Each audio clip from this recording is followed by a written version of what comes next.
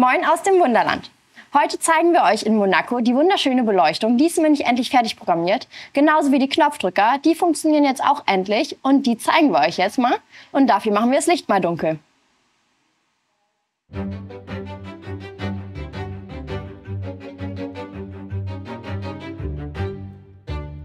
Die Beleuchtung von Monaco ist in verschiedenen Schichten aufgebaut.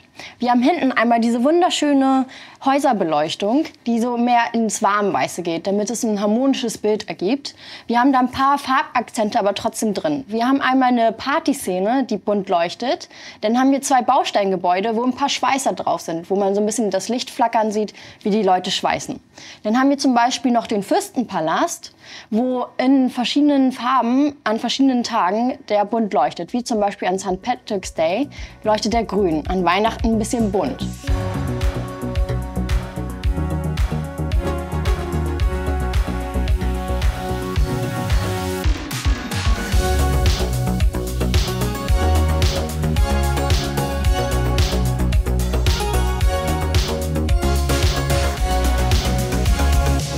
Und so können wir in die harmonische Beleuchtung noch ein paar Farbakzente setzen. Ein weiterer großer Farbakzent in Monaco ist unsere Formel 1 Rennstrecke. Da es in der Wirklichkeit keine Nachtrennen gibt, wir aber natürlich in unserer Nacht weiterhin fahren wollen, haben wir um die 100 Flutlichtstrahler mit jeweils vier LEDs an die Anlagenkante gestellt.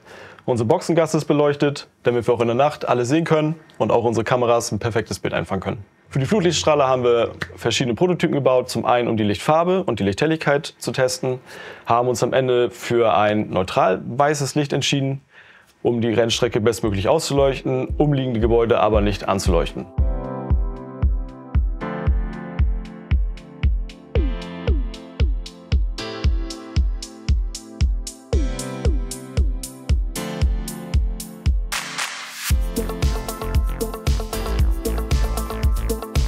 Im letzten Monaco-Update habt ihr gesehen, wie Steffi und Tino die Yachten gesetzt haben. Die bilden hier vorne Anlagenkante den Abschluss und nochmal einen zusätzlichen Kontrast mit ihren ganzen bunten LEDs und Partyszenen und die Leute, die die Formel 1 und das Rennen beobachten.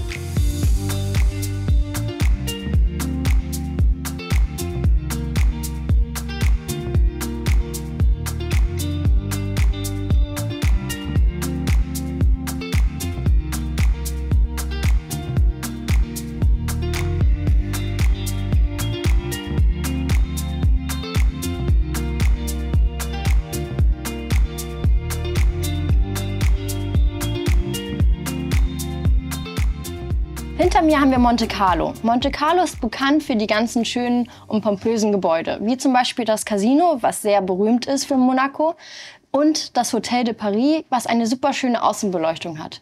Das geht in der Nacht stufenweise an und wird langsam hochgedimmt, die Außenfassade, und dadurch kommt es erst so richtig zur Geltung. Genauso haben wir das Café de Paris, das hat auch wunderschöne Außenbeleuchtung mit sehr vielen Strahlern und äh, steckbaren Lampen, die nachher auch ein wunderschönes Bild, ein schön warmweißes, harmonievolles Bild ergeben. Und so können wir noch zu der Formel 1 Strecke und zu der restlichen Anlage noch mal ein paar schöne große Gebäude mit einer richtig schönen Außenfassade und einer richtig schönen Außenbeleuchtung noch mal zeigen.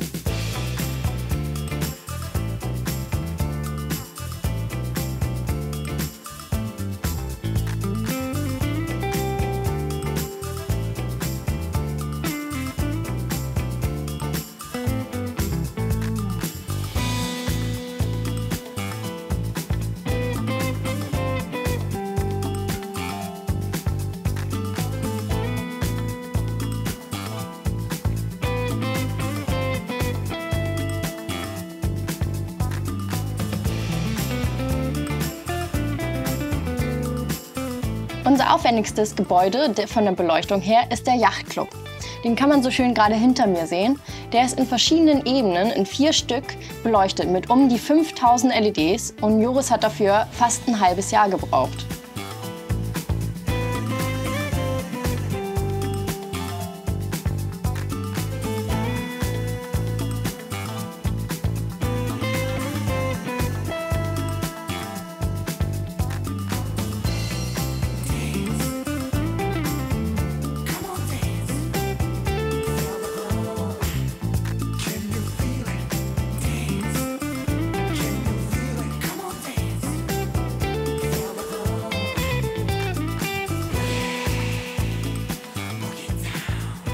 Mit der Beleuchtung sind wir fertig.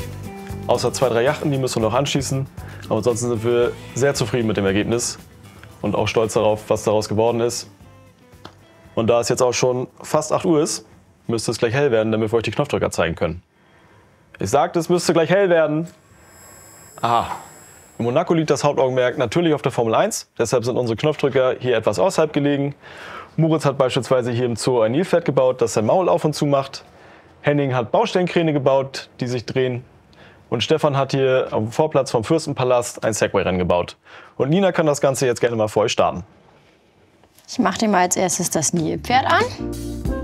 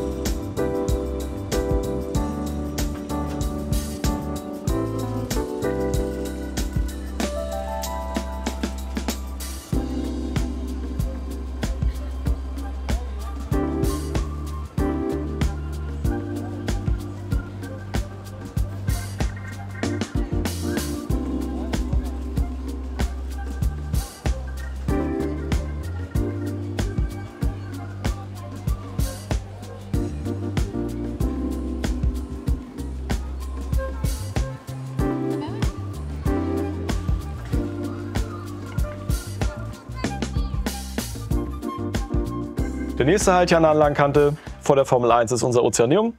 Das ist das Meereskundemuseum von Monaco. Sobald ihr auf den Knopf drückt, öffnet sich die Häuserfassade und ihr könnt einen Blick da reinwerfen. Dort könnt ihr viele interessante Dinge aus der Meereswelt entdecken. Unter anderem Walskelette, aber auch Aquarien, die wir beleuchtet haben, die sich bewegen. Und Nina kann euch das Ganze gerne einmal zeigen. Und los geht's.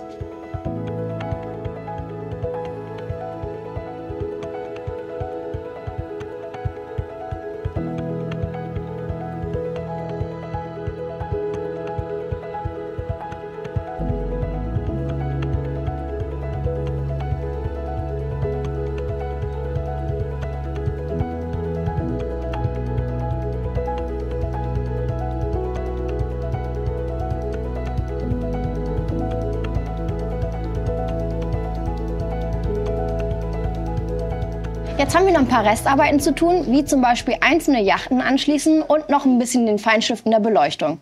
So hattet ihr aber schon mal einen guten Einblick in die Beleuchtung und in die Knopfdrücker. Ansonsten hoffen wir, dass euch die Folge gefallen hat. Ihr könnt gerne mal in die Kommentare schreiben, welchen Knopfdrücker ihr am besten findet. Und dann sehen wir uns hoffentlich beim nächsten Mal. Tschüss.